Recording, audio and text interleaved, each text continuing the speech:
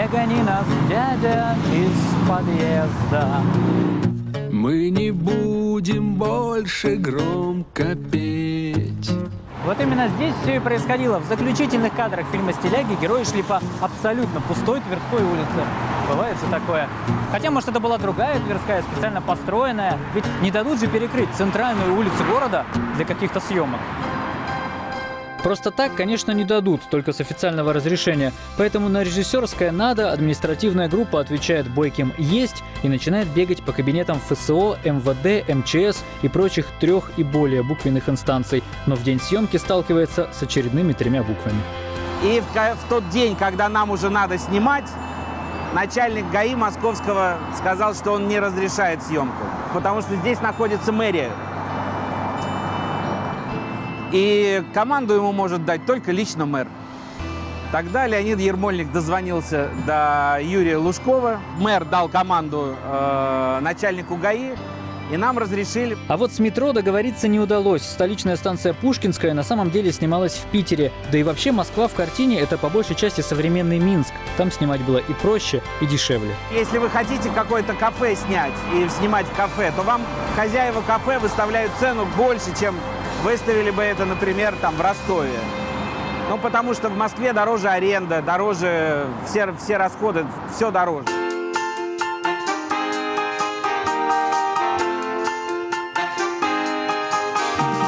На съемочной площадке готовятся к записи трюка. Вот этого трюка. Никаких взрывов, аварий, но целая полоса дороги на Большой Дорогомиловской перекрыта киношниками. в кадре артист, и мы видим, как он э, его сбивает машину. Но поскольку в реальности это сделать невозможно, ну иначе мы лишимся артиста, да, а он нам еще, да, пригодится, да, поэтому это делается с помощью компьютерной графики. То есть э, каскадеры сейчас выдергивают на тросе артиста отдельно, вот, и отдельно снимается машина, проносящаяся мимо. С тех пор, как Великий Немой заговорил, он превратился в великого обманщика. Компьютерная графика заставляет зрителя поверить в то, чего на самом деле не происходило, но не она и даже не гонорары актеров самая затратная часть кинопроизводства. Самая затратная – это логистика, особенно в столице. Привести, увести, накормить съемочную группу за день редко удается посетить больше одной точки, поэтому к ее выбору тщательно готовятся.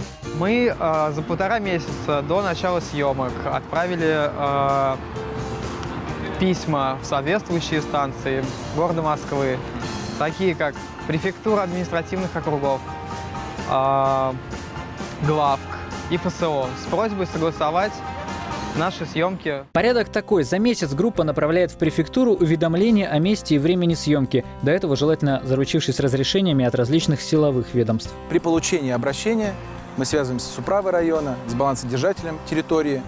И в случае, если э, выбранный съемочной группой участок не противоречит никаким нормативам, э, мы направляем заявителю ответ. Чаще всего положительный, но в редких случаях, например, если время съемки совпадает с каким-нибудь публичным мероприятием, могут и запретить. Ну, вообще-то они не обязаны нам ничего объяснять. Но, э, например, мне нужно было загнать на Красную площадь комбайн. На Красной площади снимать разрешили, а комбайн загнать не дали. В руках у продюсера Дмитрия Добужинского кипа всевозможных запросов. Это, если можно так сказать, российское ноу-хау. В Европе людям с киноаппаратами достаточно одной разрешительной бумаги от муниципалитета. Скажем, в Испании очень дружественно относятся к кино. Потому что это всегда поступление в бюджет. Киношники платят за это. На- Для справедливости ради в России официальных оплат никаких э, не проводится государственными организациями. 4.24.3.1. Пока на одной скамейке сквера сснимают эпизод будущего сериала, на другой случайные зрители Гагик и Таран по-мальчишески не решаются подойти к этому. Ну как его?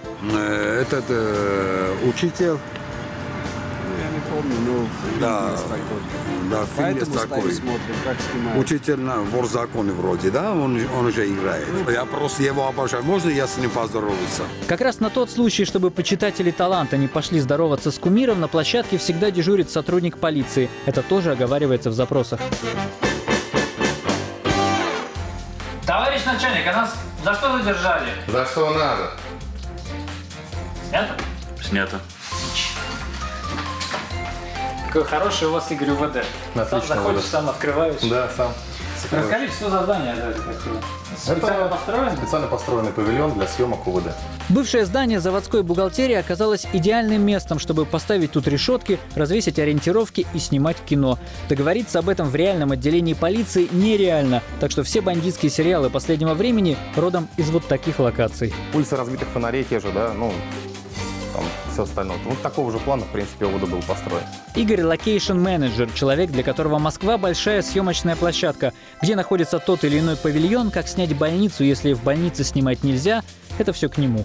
Мы уже знаем, да, какие локации, где, где они находятся и как они выглядят. То есть, если режиссер говорит, нам нужна квартира, как там, вот такая-то, такая-то квартира, художник говорит, с вот такими красными стенами, с высокими потолками, оператор говорит, что нужны окна большие, то я уже знаю, какие варианты предложить.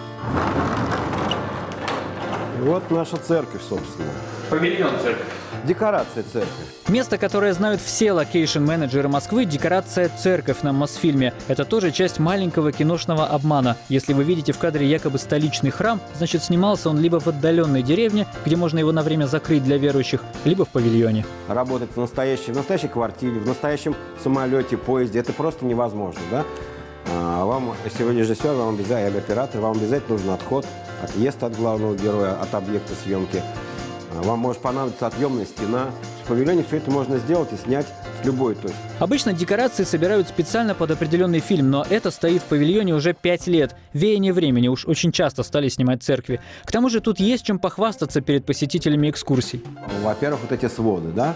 А- а- они- если мы сейчас зайдем собраться и посмотрим, это фанера. А снаружи нанесена так называемая фактура, как вы говорите. Она делается из гипса. Ну, вот видите, да? Такое ощущение, Но- что как будто но камень, ощущение, что это камень, да. Камень, каменная кладка, а штука, ну, а, штукатуренная, но это гипс, нанесенный на фанеру. Однако главный объект для гордости мосфильмовских декораторов и бутафоров находится под открытым небом. Целая улица из 19 века. Спасение для съемочных групп, которые хотят снять Москву прошлого в Москве настоящего. Внутри этих зданий ничего нет, ни пола, ни потолка, потому что на натурных площадках снимают на улице около зданий. Мостовая настоящая, а вот дорожные столбики, хоть и кажутся каменными, на самом деле наполнены пенопластом. Да что там столбики? Купола на храме и на колокольне были сделаны из пенопласта. И колокола, видите, тоже пенопластовые. Для нас с вами в фильме снимают эту церковь, а звон колоколов записывают на тон студии. Потом соединяют звук с изображением, и мы с вами смотрим кино и ни секунды не сомневаемся, что вот эти самые колокола издают такой красивый колокольный звон.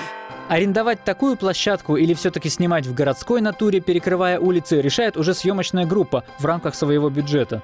А что делать, если и натура, то есть улица не устраивает, и на декорации в бюджете денег нет? Вот тогда выручает хромакей или виртуальная студия. Здесь нарисовать можно все что угодно, хоть Красную площадь, хоть Белый дом, да хоть поверхность Луны. Была бы фантазия. Знаешь, если так выдергивать, ты э, делаешь, да, складывать вниз. Самое, если машина сбивает, Пара минут до трюка. В кадре уже не каскадер, а сам актер Павел Прилучный. И он, и сама атмосфера происходящего собирают вокруг толпу зевак. Саша, нужно будет разбирать, э, разгонять наших э, зевак. И, конечно, в декорации удалось бы обойтись без лишних глаз, но таково уж было требование режиссера. Только Москва, только натура. Отличная панорама на Сити. Вот. Э, Такого в павильоне не снять. Тем более у нас тут есть э, движение машин, люди, массовка. Такой трюк, такая панорама, э, возможно, только на натуре. Павильонные съемки тут исключены. Итак, герой идет по переходу, его окликают, он разворачивается, и в этот момент Приготовились к съемке. Вот это был режиссер. Берем камеру, мотор. Перекрылись, никого не пускай. Зрители убираем. Все, уходим из кадра. Все, кто не нужен. Приготовились. Начали. Стоп. Смотрим дубль. потом они повторят его еще раз и еще раз. Все ради того, чтобы зритель увидел тот самый идеальный дубль и подумал, какая все-таки романтичная и интересная профессия – фильмы снимать. Это, в отличие от всего обманчивого киномира, истинная правда.